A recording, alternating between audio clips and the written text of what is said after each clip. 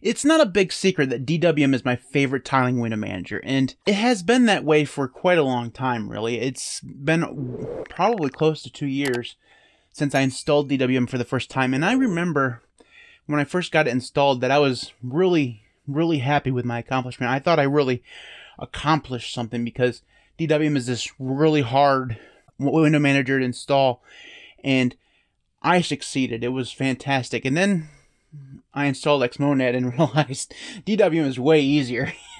so uh, DWM is actually a fairly easy window manager to install if you know what you're doing, and it's not even that hard for if you don't know what you're doing. So the point is, I've been using DWM now for quite a while, and I know quite a lot about it. I've learned quite a bit of the configuration file and a lot of the source code, and I've, I've learned a lot of how to do things in it, as you do when you use something for quite a long time. But that doesn't mean that I know everything, right? I, have always prided myself on learning new things. And one of the things I learned least recently was that there's an easy way to switch themes quickly in DWM. It's not really a new thing. Like, if you know anything about DWM, you know there's a way to include certain snippets of code from one file to another. And you can do this in a lot of languages. Sometimes it's they use the word source, sometimes they use the word include, sometimes they use something different. But the point is a lot of languages allow you to basically import contents of one file into another file. And basically that's how you can do this. So let me go ahead and show you what I've done because it's actually kind of neat. Okay, so here we are in Alacritty, and this is just my DWM configuration file it's just basic. I've gone through and done a lot of patches and stuff like that. Everybody has seen my DWM setup time and time again. Every time I show you something on video, this is probably what you're seeing. So if you want to do this, there are several things you need to know. So first, remove your config.h file because we're going to be compiling DWM again after we make the change. So we'll remove that and then we're going to vim into our config.def.h file. And you can see right away mine looks different than most configuration files because normally in a DWM configuration file, after the DWM font line here, there are several variables that are called and defined that define colors that then are used in this section here to attribute them to certain parts of the window manager, whether it's the bar at the top, the the the border, whatever. You know, that's how it works. You declare the variables and then you use them later on in this part here. But I don't have that in this file at all.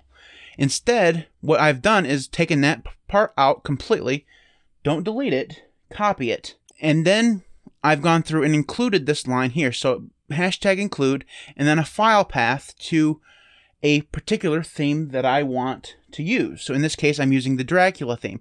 I haven't changed the wallpaper because I've already done this video once and it didn't work out. So forgive the wallpaper not matching. But the point is, if I want to change themes, all I have to do is change just one word to a particular theme that I have already created. So in this case, I can change to one dark. Okay, so I just right and quit this.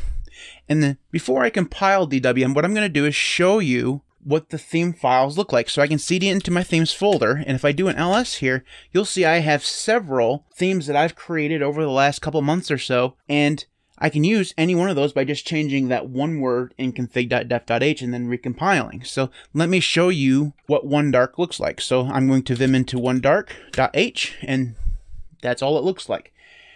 Now, like I said at the beginning, the include functionality, all that does is sources this file into my config.def.h file. It pulls all these values in as if they were there already but it's just one line, so you only had to change that one word when you want to change something, instead of having to go through and change each and every color code there that you know to change the colors. And all the themes look exactly the same. The only thing that changes is the, the hex codes here. And I can show you that if if uh, we can just go ahead and vim into Monokai, looks the same. Vim into Dracula, looks the same.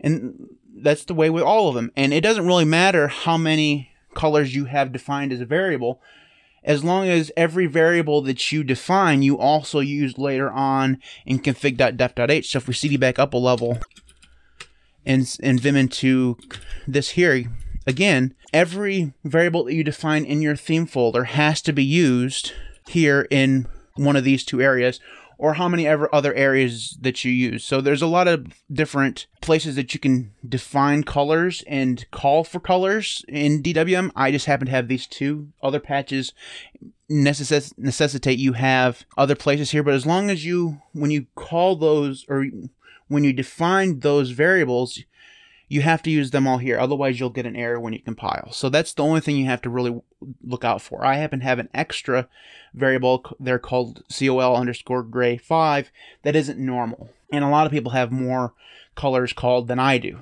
way more. So that's really all there is to it. All I've done is created a whole bunch of theme files like I showed you. And then when I want to switch between one, I go up here and change this one word. And then I go out of here and do make sudo make install and then I enter my password. And then what I can do is reset D- DWM. So I'm going to cut the video away from here because when I reset DWM, all my windows go to the first tag. Uh, I want to fix that before I go through and show you what it looks like. Okay, as you can now see, I have a one dark color scheme in every place except for SL status. Now, the thing is, SL status is also written in the same language DWM is, so you can do literally the same thing. So if we see, uh, clear this, up a level, and then into SL status, and then remove config.h, oops, I actually have to finish typing that, and then we go into an ls here. We, what we can do is go into config.def.h, go here at the bottom, so this is the top, this is the bottom, and then change the exact same word. It's the exact same line, right? We just in a different file. So change this to one dark, save and quit. And then if I'm going to show you the theme file for the SL status. If I go into themes and vim into one dark, this is what it looks like. Now, basically what I've done is the exact same thing, only it's different lines. Obviously, the way SL status does things is going to be different than DWM itself.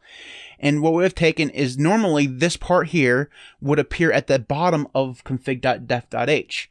I've taken it out and put it in each of my theme files, and each theme file has different color codes. So in this case, this is the one dark color codes that associate to the icon and the text and all that stuff.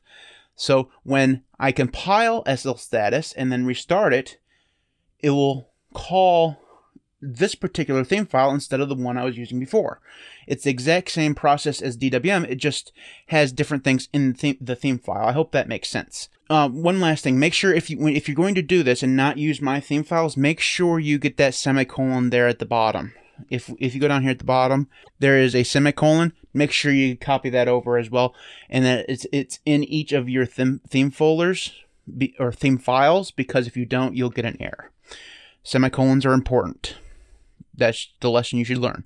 Okay, so if we get out of this and then we cd up a level and do make sudo make install and then kill all SL status, you can now see SL status has come back with one dark coloring. And that is how you change themes really quick.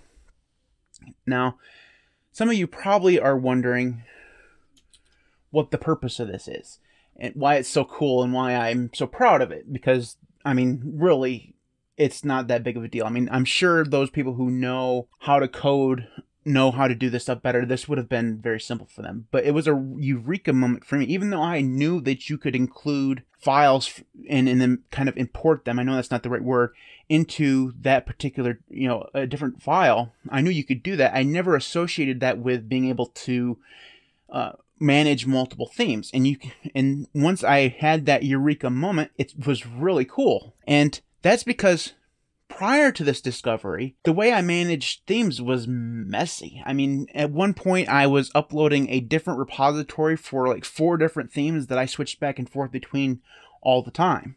I had, you know, Gruvbox and Dracula and Purple and Ocean, and I was always rotating between them. And in order to do that, I'd have to delete my whole DWM file, pull down the new the, the theme that I wanted to change to recompile that way.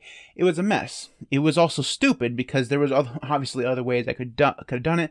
At one point, I had all of my theme folders that or theme themed DWM config folders in a particular folder on my computer, and then I would copy them over and then recompile, and that was a mess as well. So you can see how this is way easier. And I can't even begin to tell you how many themes, how many rices that I lost just by overwriting them because I just decided not to save them at all. So by doing it this way and creating every time I decide to write something, I just create a new theme. H, you know, whatever I want to call it. Let's say I wanted to do a Nord, so I'd do Nord.h, put the in the theme folders for both DWM and in the SL status, theme it from there, go through and do the, all the color codes just like I would normally do a rice, and then change that one word in the config files and then recompile, and I've changed the theme. And then when I want to switch back and forth, I have all the themes that I've ever created in that one directory, and it's easy to just change that one word and recompile. That's why it's so cool. So, if you want to do this yourself, you can either go through and do it as I sh- have shown you, or you can just download my Suckless Utils repository that's on GitLab. The link is in the video description. It has all of my themes right there for you to try if you want to try this out.